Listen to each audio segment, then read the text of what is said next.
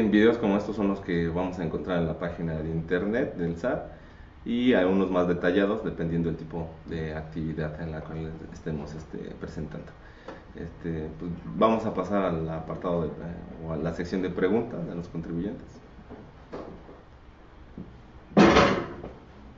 En 2018 he llevado mi contabilidad en mis cuentas y, y la de, septiembre usé mi contabilidad. ¿Puedo seguir así y ya no enviar DIOT?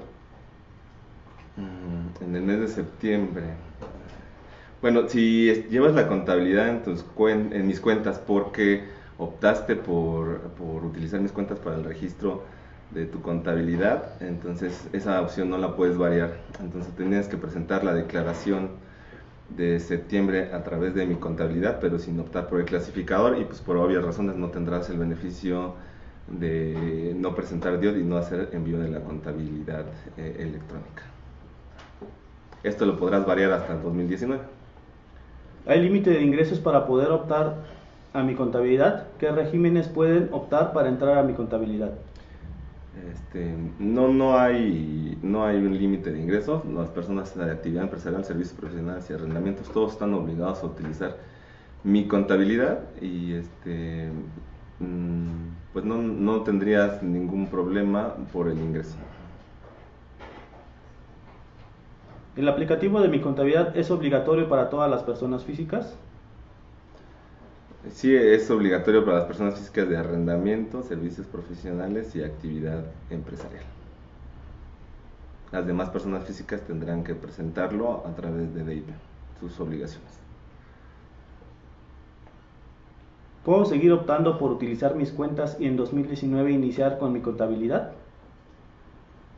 Si ya optaste por utilizar mis cuentas, ya esa opción no la puedes variar en este ejercicio, entonces tendrás que terminar en septiembre, octubre y noviembre utilizando mis cuentas. Si eres de arrendamiento, bueno, pues utilizar mis cuentas para la presentación de tus declaraciones. Si eres de actividad empresarial o servicios profesionales, puedes utilizar mis cuentas para el registro de tus operaciones, pero para este, la presentación de la declaración entrarás a mi contabilidad directo al formulario sin optar por clasificar facturas y, y, pues por obvias razones tampoco tendrás la, la- el beneficio de no enviar DIOD y no de no presentar DIOD y no enviar contabilidad electrónica. Esto lo podrás variar en el 2019. Al usar mi contabilidad para declaraciones provisionales, ya no necesito hacer la DIOT, ¿correcto? ¿O a partir de cuándo la dejo de hacer? Sí, eh, si tú entras a mi contabilidad a presentar tu declaración y utilizas el clasificador de facturas o eliges utilizar el clasificador de facturas de ingresos y gastos para la presentación de tu declaración y el cálculo automático de tus impuestos, de acuerdo a la regla de resolución, pues no tienes que presentar DIOT. Entonces, a partir de septiembre o de la fecha en la que tú elijas utilizar el clasificador, ya no tendrías que presentar DIOT.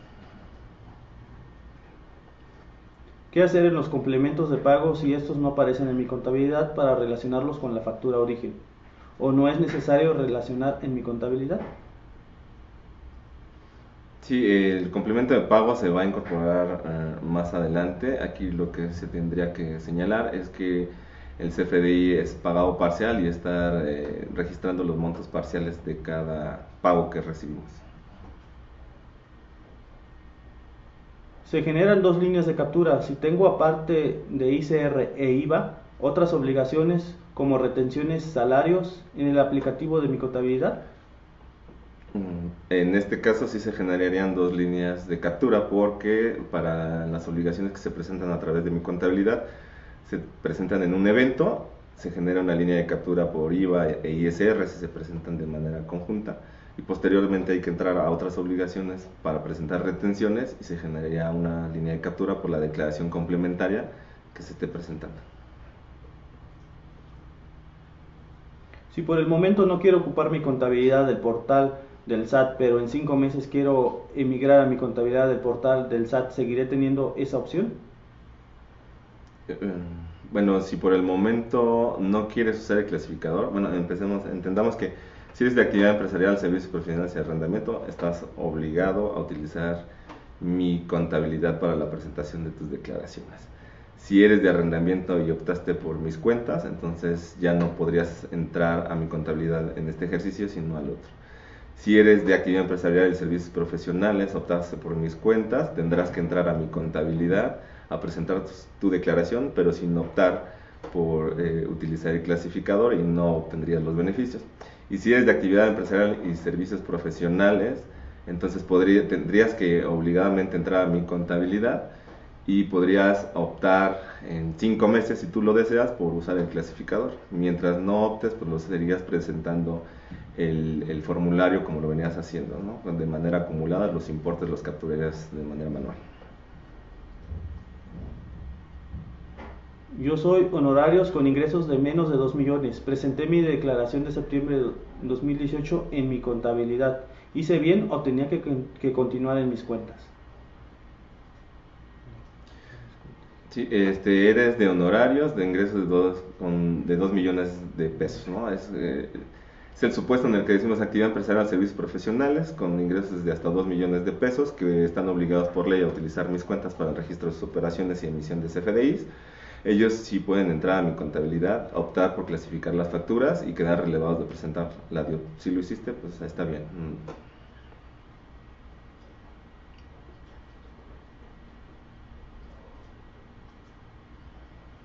Está habilitado el ICR del periodo en este campo de ICR retenido del periodo. Se pondría el acumulado de ICR retenido de enero a septiembre. Entonces eso ya no aplica porque el campo ya está habilitado.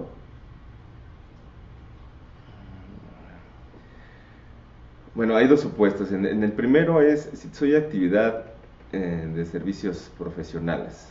el acumulado del ISR retenido de enero a agosto eh, no se va a traer en esta primera declaración de septiembre. Entonces el campo en el apartado de totales está habilitado para captura. El contribuyente lo tiene que capturar de manera manual por única ocasión y a partir del mes de octubre este campo ya vendrá prellenado con la información de enero agosto más lo de septiembre, ¿no? Es como de periodos anteriores, retenido de periodos anteriores y esto también se llevará a la determinación del impuesto.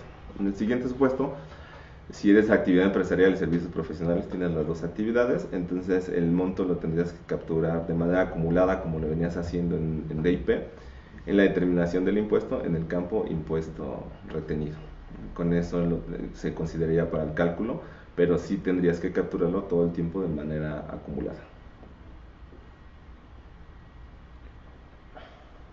Si acepto el aplicativo de mi contabilidad en el mes de septiembre, ¿puedo regresar a no usarlo para el siguiente mes? Bien, el aplicativo de mi contabilidad lo tendrás que usar para presentar tus declaraciones lo que optas es por usar el clasificador de facturas para el cálculo automático de tus impuestos. Si tú optas en septiembre por utilizar el clasificador de facturas, entonces ya no puedes cambiar esa opción hasta el siguiente ejercicio. Ejemplo, entonces si, si ahorita en septiembre entras, optas por clasificar facturas para presentar tu declaración, con eso quedas relevado presentar DIOD y contabilidad electrónica, para octubre, noviembre y diciembre tendrás que hacer lo mismo y de hecho el aplicativo ya no te va a dejar variar esa opción. Si en septiembre no optas por el clasificador y presentas tu declaración yéndote directo al formulario sin clasificar facturas, pues esto sí lo podrás variar en octubre, en noviembre, en diciembre. ¿no? Aquí lo que no puedes variar es el haber optado por utilizar el clasificador. Eso lo tienes que llevar hasta que termine el ejercicio. Si soy persona física con actividad empresarial y profesional, ¿debo usar mi contabilidad en forma obligatoria?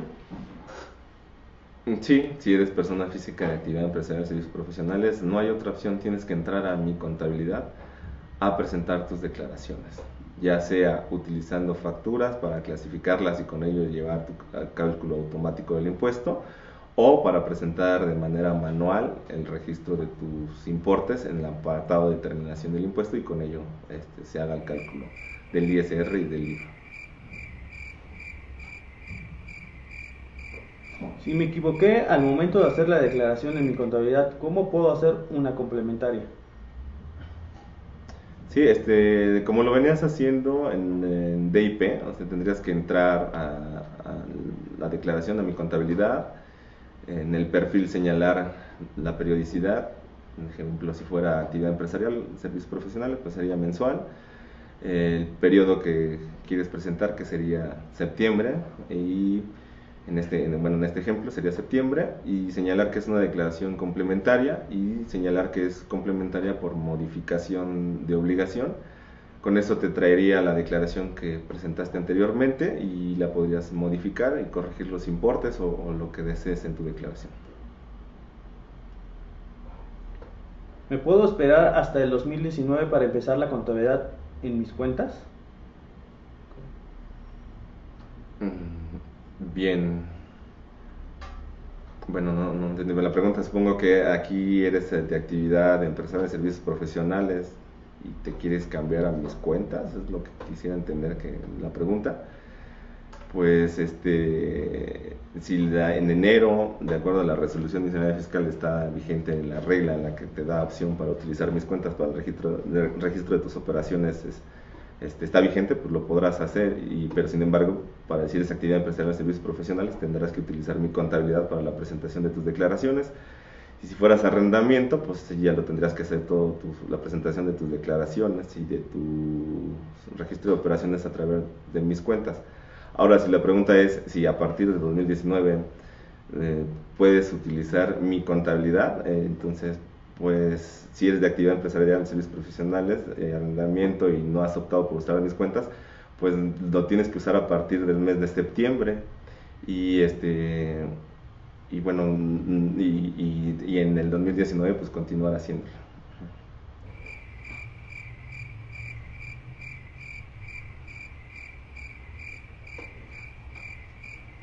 Bueno, este, pues serían todas las, preguntas. De todas maneras, pues están los medios de contacto, la página de internet del chat, el chat, Twitter, Facebook, en el cual pueden obtener más información de, mi contabilidad. Por nuestra parte es todo. Mi nombre es Luis Alberto Anaya Elizalde.